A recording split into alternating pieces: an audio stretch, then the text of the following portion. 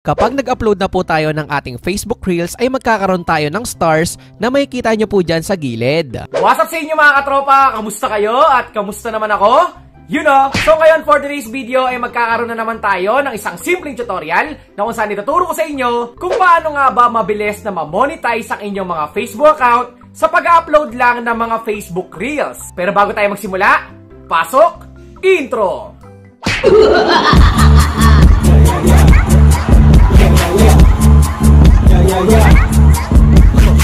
Yes, alam mo ba na in just 5 days ay pwede nang ma-monetize yung Facebook account mo? Yes, pwede po yun. Sa video na ito ay tuturo ko sa iyo ang limang tricks na pwede mong gawin para mabilis na ma-monetize yung Facebook account mo at kumita ka na sa Reels. At simulan na natin. Tip number 1. Turn on professional mode. Kailangan mo pong i-turn on ang professional mode sa Facebook account mo para kung ilan yung Facebook friends mo ay magiging followers mo na din. At ganito po yon. At para ma-convert ang personal account natin into professional mode ay pindutin lang natin yung tatlong bilog sa gilid. So kailangan po nating i-turn on yan para kumita tayo sa ating Facebook Reels. So pindutin lang po natin. At nakalagay nga po dito na get paid for your content na kung saan pwede tayong kumita at mas maraming tao ang pwedeng mag-follow at ang next step, pindutin lang natin yung turn on. At ngayon, meron na po tayong professional dashboard. Tip number 2. Sipagan mo mag-live. Alam naman natin na mahirap nga ma-reach yung 60,000 minutes of views. At ang isang way para mabilis mong ma-reach yun ay dapat masipag ka mag-live. Mas maraming share at maraming nanonood ay much better. At ganito po yung kailangan mong gawin. At syempre, para makapag-live po tayo, ay pindutin po natin yung what's on your mind. So may kita natin yan sa taas. So dito may option nga po na live video at syempre pindutin po natin yan.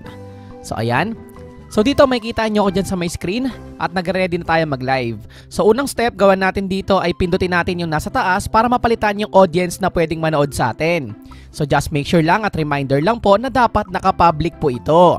So yan, naka-public naman. So exit na muna natin. Kapag nagla-live tayo, mas maganda kung may description ito or may caption kung tungkol saan yung live natin.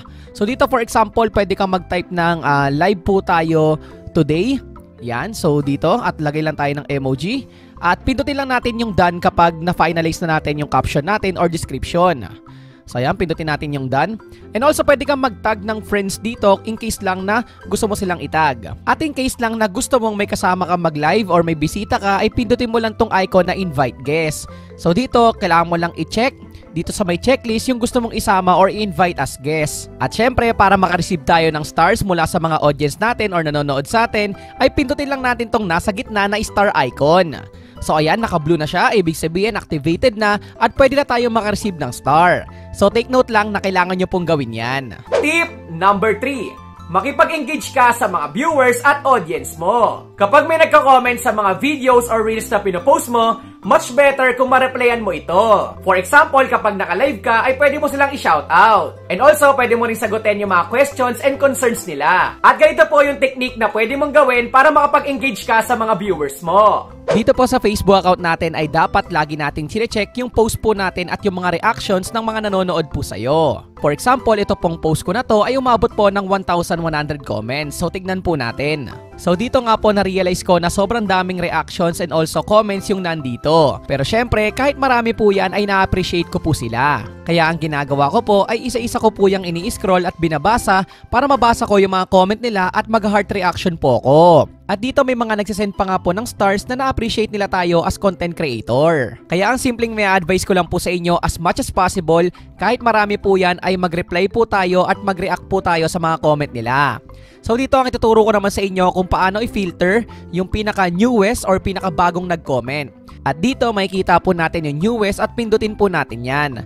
Lalabas po dito yung mga bago pa lang nag-comment. So dito 11 minutes ago, 15 at yung mga bago pa lang talaga nag-comment. At para ma-replyan din natin yung mga nag-send ng stars sa atin as appreciation, ay pindutin lang natin dito at i-filter yung sent with stars. At dito lalabas nga po yung mga nag-send ng stars sa atin at syempre mas maganda kung makikita natin yung mga comment nila at mababasa at syempre mag-heart react lang tayo at mag-reply. Yung mga stars po na yan ay may value po yan so papasok po yan sa account natin at kikita po tayo doon. So dapat mas maganda na makita natin yung mga comment nila at replyan po natin. Malaking tulong po iyon para sa engagement po natin. Tip number 4. create quality content videos and reels. Kapag nagke-create po tayo ng mga videos and contents natin, just make sure lang na makakatulong ito sa ibang tao. Pwede pong entertainment, lifestyle, tutorials at marami pang iba. Kapag quality content ang in-upload mo, ganito po ang resulta. Kapag gawa po natin as content creator ng mga contents, videos, posts, or reels, ay mas maganda po na consistent po tayo at quality po yung video na i-upload po natin. So dito mapapansin nyo po ay halos everyday ay may upload po ako. Malaking tulong po kasi ito para sa performance ng engagement po natin. Ang simpleng may advice ko rin sa iyo ay mag-focus ka po sa quality content dahil hindi naman po yan about sa paramihan ng followers. Kapag quality content po kasi yung in-upload mo ay nandun po yung potential na mag-trend, mag-viral, or makatulong ka sa ibang tao. So kusa na lang silang magpa-follow sa'yo. Ang isang advantage pa ng pag-upload ng mga quality content at magagandang mga videos ay yung profile recommendation. Makikita po natin yan sa tools at pindutin po natin yan. Dapat po ang nakalagay po dito sa profile recommendation ay recommendable. Ibig sabihin po nito, yung content mo is okay at recommendable at yung profile mo or Facebook page mo ay walang violation. Kapag recommendable po yung nakalagay dito, malaki yung potential na isupport ka ni Meta para sa bigger audience. Magiging visible ka at mapapanood ng maraming tao yung video mo. Kaya mas maganda kung mag-upload ka ng mga quality videos and contents para maging recommendable yung profile mo. At syempre ang panghuli natin, dapat consistent ka. Kapag nasimula mo na na mag-upload ng pinakauna mong reels ay kailangan masundan na ito. Mas maganda kung meron ka pong commitment sa ginagawa mo, lalo na sa pag-shoot at pag-edit ng video. At ganito po ang magiging resulta. Malaking tulong po kung consistent po yung pag-upload natin sa ating Facebook account. So dito pindutin lang natin yung C dashboard. Makikita po natin dito yung performance sa mga contents, videos, and reels na ginagawa po natin. Kapag ang performance po natin dyan ay naka-green lahat, ibig sabihin increasing po. So okay yung performance natin. At ngayon, ibabak ko po muna. So dito, pindutin lang natin yung more. At syempre, hanapin po natin yung reels. So dito malalaman natin kung consistent nga ba tayo nag-upload sa ating Facebook page or Facebook profile. Kapag consistent ka kasi mag-upload ay masasanay na yung mga audience or yung mga taong nanonood sa'yo na may upload ka sa araw na ito. At syempre, makakatulong yon sa performance or engagement mo. Ang isa pang maya advice ko sa iyo ay mas maganda siguro kung maglaan ka ng time sa pag-research ng mga trending topic. Para syempre kapag nakagawa ka ng video about doon ay mas marami yung potential na manood sa iyo. Ang lagi nga nating sinasabi, consistency is the key. So kailangan maging consistent tayo. At ayun po yung limang tricks na pwede nyo gawin para mabilis na ma-monetize yung mga Facebook account nyo sa pag-upload ng Reels. At ayun lang po yung simpleng tutorial natin sa araw na to at sana meron ka pong bagong natutunan. At kung ikaw ay may clarification, suggestions, or questions, ay pwede mo yung i-comment dyan sa may comment section sa baba. And also, pwede mo ring i-like and follow yung Facebook page natin na makikita mo dito.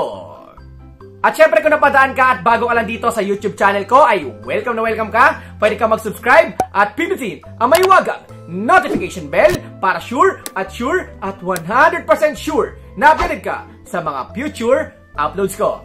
You know, peace out, like, comment, and subscribe. Peace! One love!